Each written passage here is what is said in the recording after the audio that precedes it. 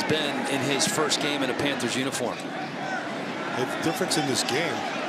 What a punt by Johnny Hekker! Good gracious. Talk about perfection. Celebrate that, Johnny Hekker. You've earned it.